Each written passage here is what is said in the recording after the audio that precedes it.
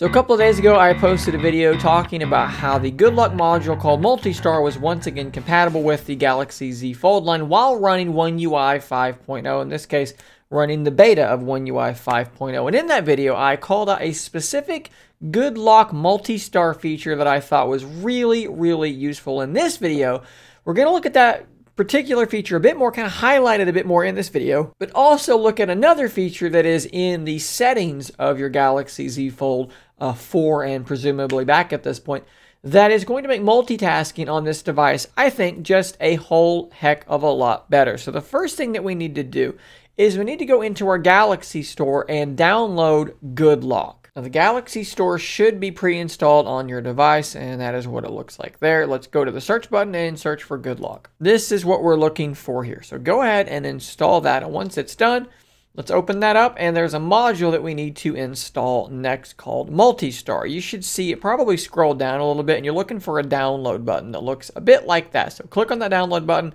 and it will take you to, I think it takes you to the Galaxy Store to download it. And you can go back into Good Lock, and there is your multi-star application. And the setting that we're looking for is right here, multi-window screen zoom. Before I actually enable this, what I'm going to do is I'm going to show you what things look like before when this setting is not turned on. So let's launch Twitter, and let's launch YouTube next to Twitter so that we have these two applications split screen. And I want you to look at how much stuff is actually on the screen. And I want you to see it in person as well, right? So actually get a view here of what we're looking at, how much stuff is actually on the screen. And yes, I mean, honestly, this is not a terrible experience. You can see, you know, two full tweets there, you know, two and a half videos there. And, you know, it does a good job because it's such a large screen of fitting a decent amount of stuff on each screen. But they both just feel really, really cramped to me, and it's not something that I enjoy doing. Typically, what I'll do is I will rotate the device this way,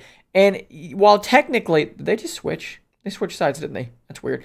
Even though I'm actually seeing quote unquote less content because now I'm only seeing like one tweet and two videos basically, I actually much prefer this because they just don't feel nearly as cramped. And it reminds me a lot of using something like my Surface Duo or my Duo 2, where again, yes, technically when it's rotated this way around, you can see more things, but they're really skinny, they're really narrow, and they're really cramped. And I just think it's it's honestly just not a great experience. So that is what this setting uh, is going to hopefully help us fix to some degree. So let's go back into Good Lock. We'll go back into multi-star and let's go back to multi-window screen zoom. Let's turn this on.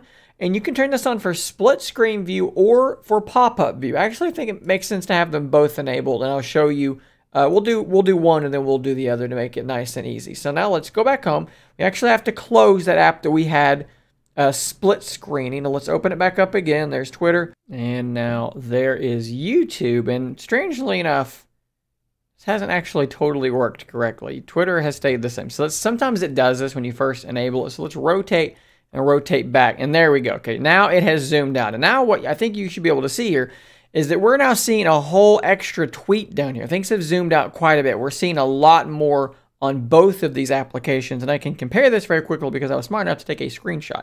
So that is what we were looking at before, right? And this is what we're looking at now. And then if you take this and you rotate it this way, it becomes, uh, to me, I think, a much better experience. And it really does in some ways. I mean, in terms of like content on the screen, you're actually right there with the Z Fold 2, if not actually a little bit better. You can see a bit further down on YouTube and a bit further down on uh, on Twitter there. Now, the biggest thing to keep in mind is obviously that some of the things that are true about Duo and true about Fold obviously are not going to change. So the biggest thing for me is still the fact that your gestures are going to be interacting with the last used app. So if I use this app and then try to swipe back over here, I'm going to go back on YouTube. It's, the gestures are not dependent upon the size. So in a perfect world, swiping back over here, we go back on this app, back over here, we go back on this app.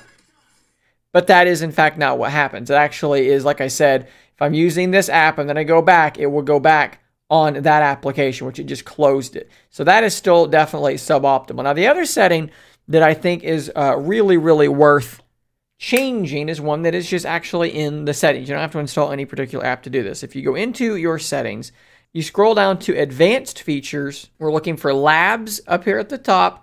And then we are looking for swipe for split screen. And I actually don't know why mine is grayed out and I actually can't turn it off. Maybe this is something they've just enabled by default and I'm wasting my time. But the point of this is that you can swipe two fingers in from the side and then get this view here where you can then launch whatever application you want to launch in split screen. The cool thing about this app is that it's dependent upon what side you swipe on. If I swipe over here, well then the split screen app is going to open up on that side. I think you can swipe up from the bottom Okay, I guess it's just the sides. That's where I've done that in the past, but whatever. You can swipe in from the left or right side.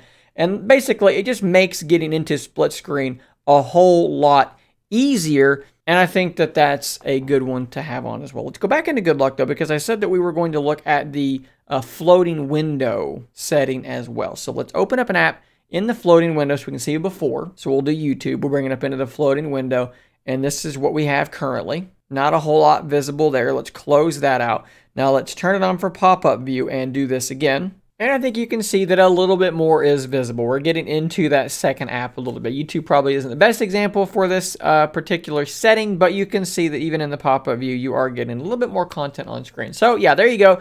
Those are a couple of settings, one in Good Lock Multistar, one just in your settings in general that I think are worth enabling to make your multitasking experience a little bit better. I still don't think that these settings do enough. I would love to see some more Good Lock stuff, like the ability to make your gestures uh, correlate with the app that is on the side of the screen that you're making gestures with. That would really take the multitasking on the Z Fold to a whole new height. But without that being there, this is pretty much for me as good as it gets. Give this a shot. Let me know what you think about it in the comments down below. If you're new here, don't forget to subscribe. I'll see you on the next one. And until next time, stay nerdy, my friends.